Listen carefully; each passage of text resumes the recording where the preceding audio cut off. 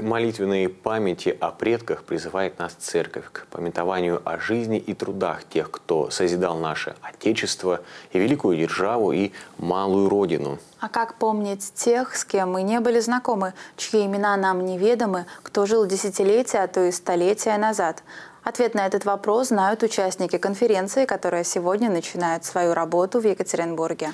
Ее организаторы – Уральские историко-родословное, генеалогическое и церковно-историческое общество, областная универсальная научная библиотека, Российский государственный профессионально-педагогический университет и информационное агентство ТАСС.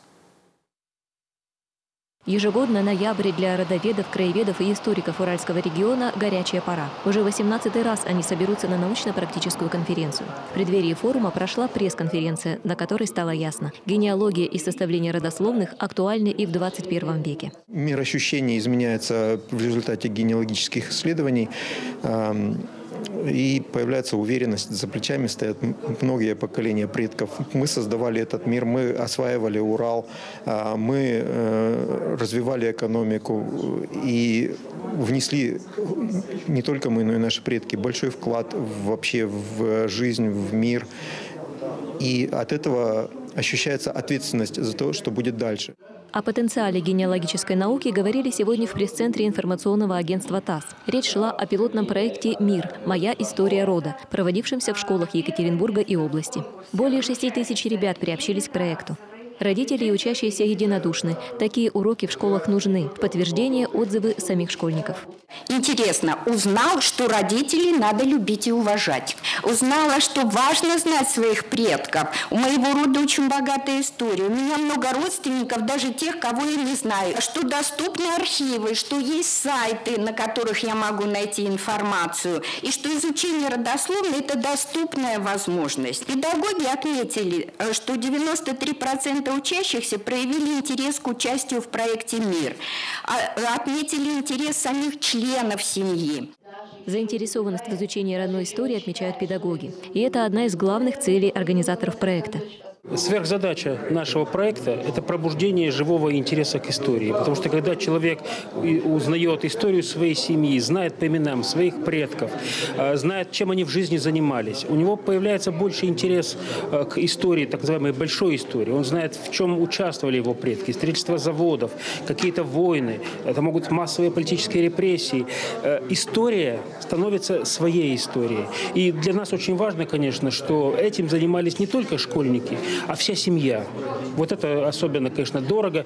Это укрепляет семью, и это укрепляет связи семьи и школы. Что есть в каждой культуре, культуре каждого народа мира, это ценность семьи.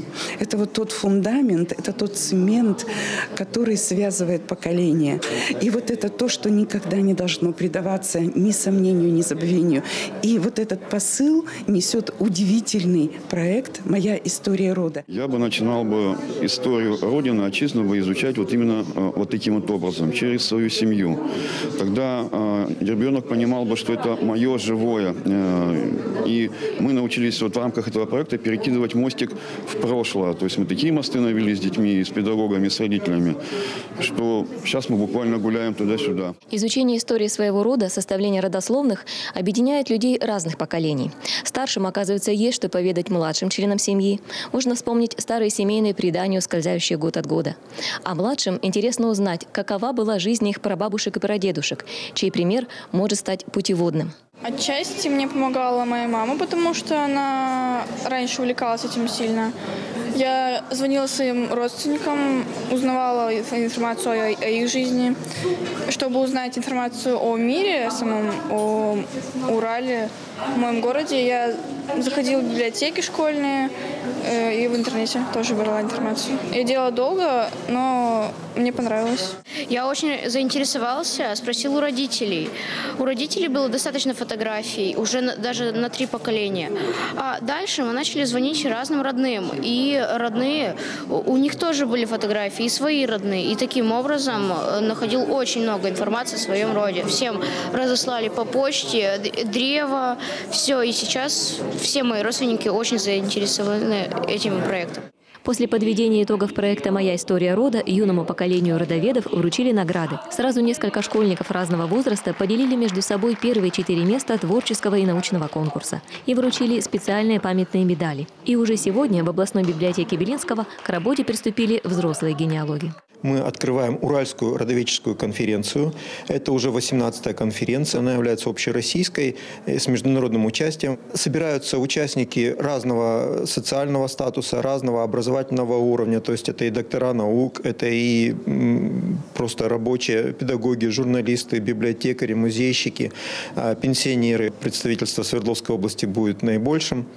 А, ну, соседние регионы – это Пермь, Челябинск, Тюмень, Курган – на протяжении следующих двух дней родоведы обменяются результатами своих исследований, открытиями и методикой работ. Вход на главное мероприятие года уральских генеалогов свободный. Оно пройдет в конференц-зале библиотеки Белинского.